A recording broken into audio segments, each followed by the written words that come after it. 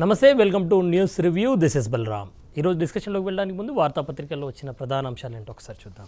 ఈనాడు చూసుకుంటే ప్రధానంగా నిజామాబాద్లో బ్యాలెట్ పోరు అన్న వార్త హైలైట్ అవుతుంది. బరిలో నూట ఎనభై ఐదు మంది అభ్యర్థులు ఇరవై మూడు ఏళ్ళ తర్వాత సామాజిక సమస్య పెద్ద సంఖ్యలో నామినేషన్లు ఎన్నికపై తర్జన భర్జన బాక్సులు బ్యాలెట్ పత్రాలకు ఇబ్బందే. ఈసీ అధినేత కేసీఆర్ ప్రచార భేరీ. నేడు మిర్యాలగూడ హైదరాబాద్లో సభలు. ఏం చేద్దాం? నేడు సీఎల్పీ అత్యవసర భేటీ. నెలలోపే పది మంది ఎమ్మెల్యేలు పార్టీకి దూరం లోక్సభ ఎన్నికలపై చర్చించనున్న కాంగ్రెస్. అదేవిధంగా వెల్లువల భూ సమస్యలు సామాజిక మాధ్యమాలలో పలువురు రైతుల పోస్టింగులు దుబ్బాక మండలం రైతు సమస్యపై స్పందించిన సీఎం కొత్త మలుపు తిరిగిన మంచిర్యాల జిల్లా భూ వివాదం ఆ పొలంలో మాకు వాటా ఉందన్న శరత్ పెదనాన్న కుమార్తె అన్న వార్త హైలైట్ అవుతుంది. సాక్షి చూద్దాం. సాక్షిలో ప్రధానంగా ఇందూరులో పేపర్ బ్యాలెట్ అన్న వార్త హైలైట్ అవుతోంది. ఇక్కడ లోక్సభలో భరీ భారీగా నూట ఎనభై ఐదు మంది ముగిసిన నామినేషన్ల ఉపసంహరణ రాష్ట్ర వ్యాప్తంగా పదిహేడు స్థానాలకు నాలుగు వందల నలభై మూడు మంది పోటీ పోటీ ఉపసంహరించుకున్న అరవై మంది అభ్యర్థులు అన్న వార్త హైలైట్ అవుతుంది. అదేవిధంగా దేశం కోసం ఓటేయండి నరేంద్ర మోదీతోనే దేశానికి సుస్థిర అభివృద్ధి తెలంగాణకు ఎవరు ఇవ్వనన్ని నిధులు బీజేపీ ఇచ్చింది కేంద్ర ప్రభుత్వ పథకాలకు కేసీఆర్ తన పేరు వాడుకుంటున్నారు అంటూ డాక్టర్ లక్ష్మణ్ బీజేపీ రాష్ట్ర అధ్యక్షుడు చేసిన కామెంట్స్ కనబడుతున్నాయి. సో జై సోషల్ మీడియా సాంప్రదాయ ప్రచారానికి స్వస్తి ప్రజల్లో మార్పు రావడంతో మారిన నేతల ప్రచార తీరు అంటూ ఒక వార్త కనిపిస్తోంది. నేడు పాలమూరుకు మోదీ భూత్పూర్ పరిధిలో భారీ బహిరంగ సభ భారీ జన సమీకరణకు కమలనాథులు ఏర్పాట్లు. నాలుగు నెలల్లో రెండోసారి మహబూబ్ నగర్కు ప్రధాని ఏప్రిల్ ఒకటో తేదీన ఎల్బీ స్టేడియంలో సభ అన్న వార్త. అదేవిధంగా ఏపీలో లక్ష్మీస్ ఎన్టీఆర్కు బ్రేక్ విడుదల విడుదలకు బ్రేక్ తదుపరి ఉత్తర్వుల వరకు సినిమా ప్రదర్శించవద్దు. ఏప్రిల్ మూడున్న చిత్రాన్ని మేమే స్వయంగా చూస్తాం. చిత్ర నిర్మాత రాకేష్ రెడ్డికి ఏపీ హైకోర్టు ఆదేశం అన్న వార్త హైలైట్ అవుతుంది. ఆంధ్రజ్యోతి చూద్దాం. మోదీపై ప్రియాంక పోటీ అన్న వార్త హైలైట్ అవుతోంది. వారణాసి నుంచి పోటీ చేయనా? కార్యకర్తలకు ప్రశ్న. బీజేపీ ఓటమే ముఖ్యమని వ్యాఖ్య. మోదీపై బ్రహ్మాస్త్రం అంటూ కాంగ్రెస్లో చర్చ. నాడు పొగిడి నేడు బలి చేస్తారా అంటూ రెవెన్యూ ఉద్యోగులు ప్రశ్నించిన వార్త ఒకటి కనిపిస్తోంది. ఉద్యోగుల సంకల్పాన్ని దెబ్బతీసేలా సీఎం వ్యాఖ్యలు బగ్గుమన్న రెవెన్యూ ఉద్యోగ సంఘాలు మ- నేడు మళ్ళీ భేటీ కాబోతున్నాయన్న వార్త హైలైట్ అవుతోంది.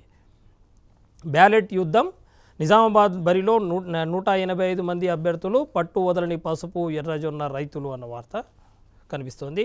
ఉద్యోగమే ముఖ్యం తెలంగాణలో ఓటర్ల మనోగతం ఇది. వ్యవసాయోత్పత్తులకు ధర రావాలి. కాలుష్యంపై పట్టణ ఓటర్లు ఆందోళన. ఏడీఆర్ అఖిల భారత సర్వేలో వెల్లడి. నమస్తే తెలంగాణ చూద్దాం. నమస్తే తెలంగాణలో ప్రధానంగా. లోక్సభ బరిలో నాలుగు వందల నలభై మూడు మంది. ముగిసిన నామినేషన్ల ఉపసంహరణ టైం. రెండు రోజుల్లో వైదొలిగిన అరవై మంది అభ్యర్థులు.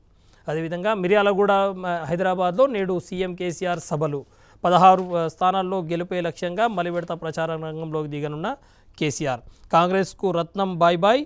ఆరు ఆరు నెలలకే తిరిగి టీఆర్ఎస్లోకి వస్తున్న మాజీ ఎమ్మెల్యే చేవెళ్ళలో ఖాళీ అవుతున్న హస్తం పార్టీ అంటూ ఒక వార్త.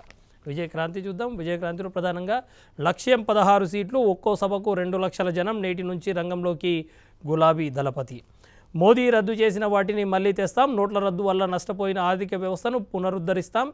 పేదరిక నిర్మూలనకే న్యాయ పథకము కాంగ్రెస్ అధ్యక్షుడు రాహుల్ గాంధీ స్పష్టీకరణ.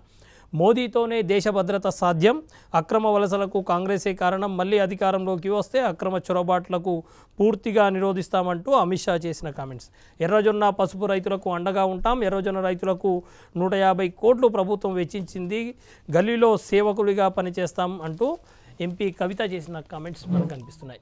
వెలుగు చూద్దాం. వెలుగులో ప్రధానంగా ప్రమాదంలో ప్రతిపక్షం అన్న వార్త హైలైట్ అవుతుంది. లోక్సభ పోలింగ్ లోపే టీఆర్ఎస్ ఎల్పీలోకి కాంగ్రెస్ ఎల్పీ ఆ దిశగా కొనసాగుతున్న పరిణామాలు ఎప్పటికీ ఇప్పటికే కారెక్కిన పది మంది కాంగ్రెస్ ఎమ్మెల్యేలు అంటూ ఒక వార్త. అదేవిధంగా మాజీ మంత్రి తుమ్మల నాగేశ్వరరావు చేసిన వివాదాస్పద కామెంట్స్ ఒకటి కనిపిస్తున్నాయి. నామాను ఓడిస్తే మిమ్మల్ని కుక్కలు కూడా చూడవంటూ ఓటర్లను ఉద్దేశించి ఆయన చేసిన ఒక కామెంట్.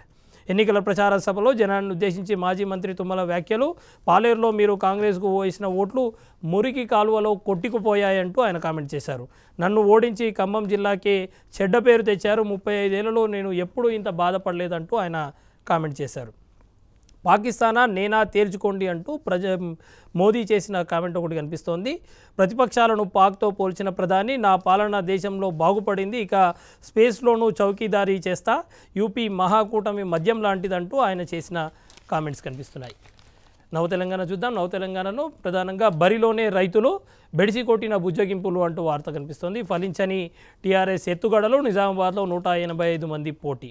ఉచిత విద్యా వైద్యం రా రాజ్యాంగ వ్యవస్థలకు రక్షణగా పోరాటం సిపిఎం ఎన్నికల మేనిఫెస్టో విడుదల. ఈ ఎన్నికల్లో బీజేపీని ఓడించేందుకు క్రియాశీలక పాత్ర విలేకరుల సమావేశంలో ఏచూరి కామెంట్స్.